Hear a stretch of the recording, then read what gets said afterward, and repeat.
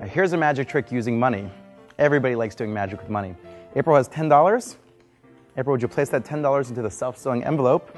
And once you've placed it in there, I'd like you to seal the envelope. On these other three envelopes, I have something that resembles money.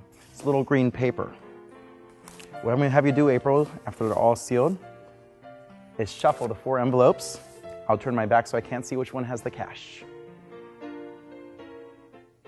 Are they all shuffled? Excellent. Now I'm gonna plan to shred all four envelopes, I'm sorry, three of the envelopes, and save the one with the money.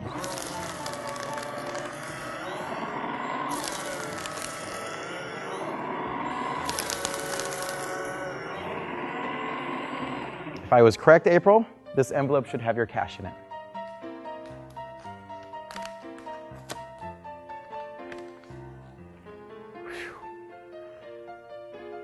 It's not so dangerous. One of the envelopes is marked. See, I placed a little blue pen mark on the bottom right hand corner of the envelope. That's the one she put the money in. All the others had the paper. I shredded those. So that way she always gets to keep her money.